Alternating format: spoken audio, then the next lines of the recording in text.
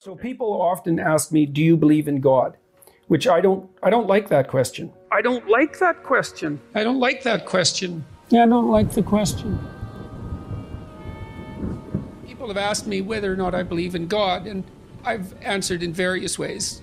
No, but I'm afraid he probably exists. That's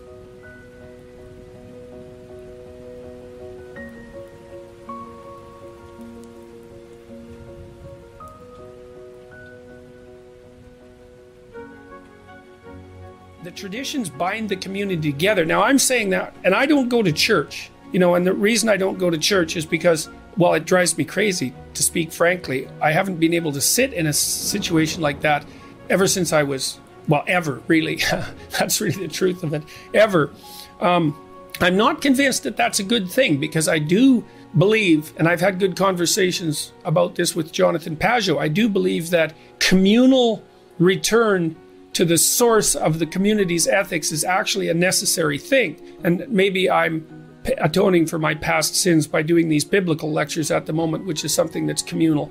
And then because there's also something about going where a bunch of other people are to reaffirm your commitment to to the good that you're all all aiming at that's that's got some power in it and I don't think that that's something that we should forego. I think it's dangerous. I mean, look, even if you're cynical about church, and I guess I would put myself in that category, it's certainly the case that communal church going in the 1950s, say, provided the average person with at least an hour a week where they were contemplating, no matter how poorly, the purpose of ethics in life and and the idea of a higher purpose and a higher meaning in life. And you got to think that spending an hour a week thinking about that is better than never doing it at all. I don't know how to that tradition can be revivified in a meaningful way but i think it's i really do think it's a catastrophe that we've lost it because we don't have a center an ethical center that holds our community together. And the consequence of that is that we're fragmenting quite badly.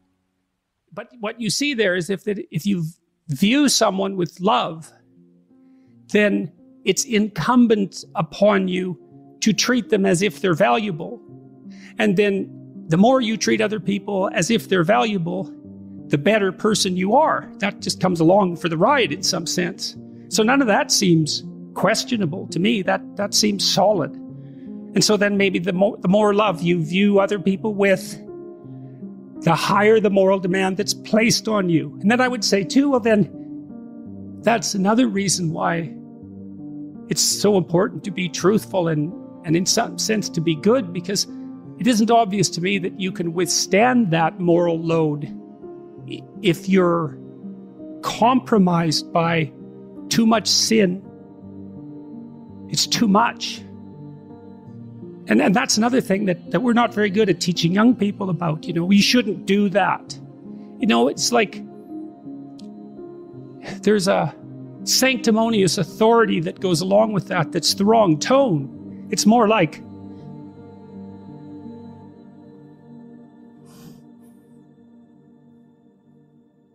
you know, I don't know how you lay it out properly, but you tell people that you love how to avoid the road to hell. And you don't do that because you're shaking your finger at them or because you're a moral authority. You do it because you don't want them to burn. And I think there's too much of the moral authority still in the church and not enough of the, you know, the love that helps people avoid the fire. Tammy, my wife, has always taken the idea of truth very seriously. Her recent brush with death has deepened her religious sense and impelled her towards a life that's more consciously focused on service to others, her family in particular, but not only her family, people beyond the family. And I also think that's a function to some degree of our stage of life. She's a grandmother now, and her children are grown and able to take care of themselves. And so she can turn her attention to other people maybe farther afield from the immediate family. I'm watching what she's doing and listening to her and watching her practical application of her faith. And that affects me just as everything she does affects me because I watch what she does and take it seriously. her recent actions have indicated she's ha- she's helped a number of people quite substantially. The group that she's been communicating with, and all of that's very interesting to me. She's showing me. I mean, I've taken the idea of God seriously for a very long time. And I've said on multiple occasions that I try to act as though God exists, and that that's essentially my definition of belief. When people say, Do you believe in God? Belief is a multidimensional word. And one question is, Well, what do you mean by believe? And for me, the proof of belief is to be found in action. And I decided that I would act as if God existed a long while back. And of course, I'm imperfect in that, inevitably. Now, she's doing that more explicitly as well. Not that she wasn't doing it quite well to begin with, but she's doing it more explicitly and also more within the confines of traditional religious conceptions. Uh, although she's not attending church, she's associating with a number of people who are formally religious, and all of that's informing the way that she conducts herself.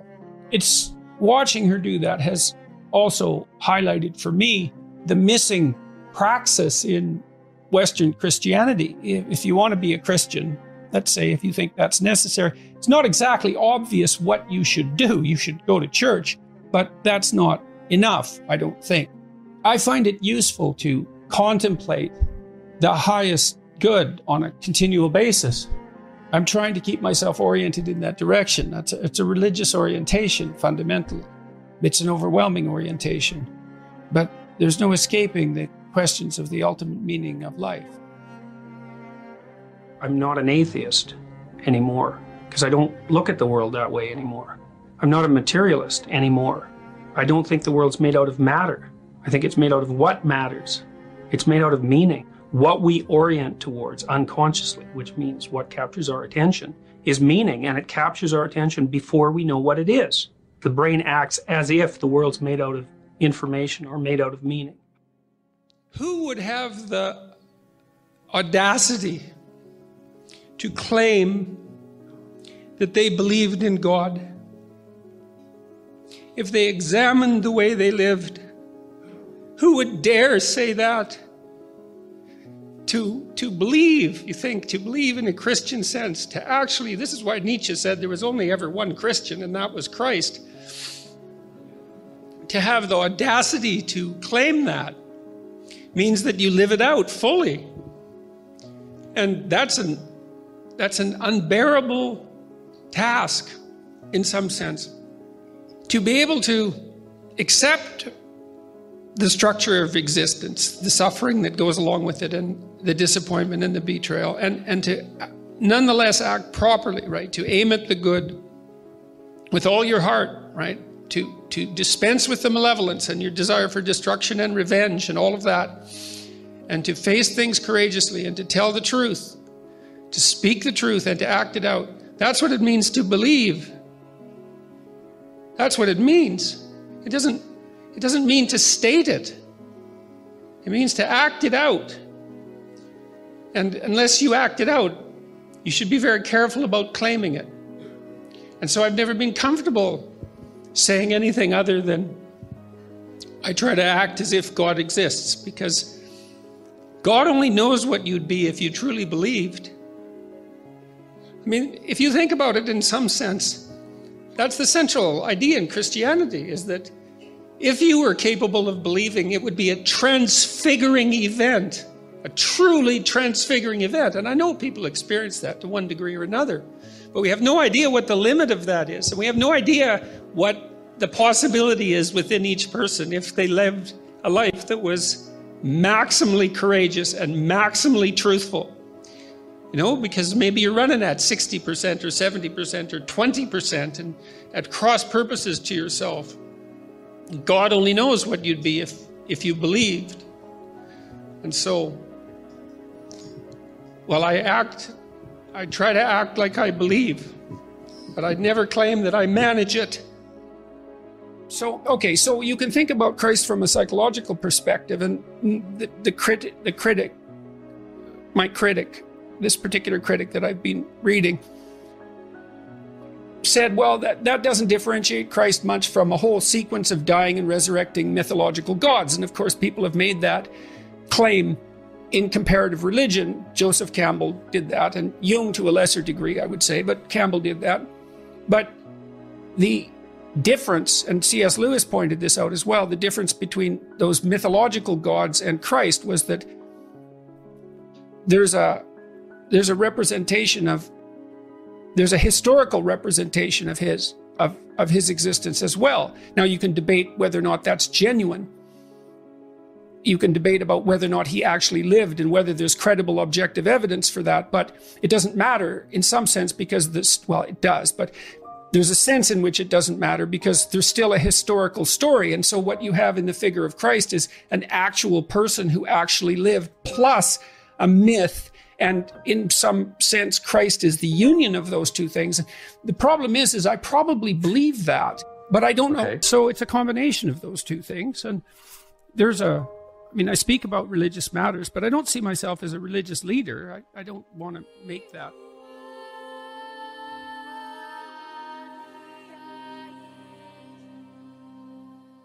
God lift from me the intolerable burden of my ignorance, arrogance, willful blindness, bitterness, and resentment. As I pray that others rise above the same faults and temptations. I watched Fox News release a message this week.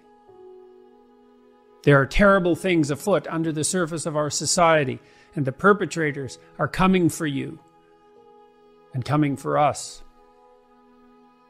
And then I watched the Democrats respond in panic and anger, saying, There are terrible things afoot under the surface of our society, and the perpetrators are coming for you, coming for us. Are there terrible things afoot, bubbling under the surface? Is something coming for you? and for us? Ask yourself how true that is of yourself and your own life. Have you addressed all that? Are you concerning yourself with the dust in your enemy's eyes instead of attending to the filth that obscures your own sight? Do we want accusation, suspicion, discord, derision, and hatred? or the peace and prosperity and happiness that beckons to us at this moment like never before. Who's the enemy here? Is it the basket of deplorables? Is it the freaks and the queers? Is it the plumbers and carpenters and tradesmen and managers who work honestly and diligently during the day and the soldiers who stalwartly defend the borders and protect us?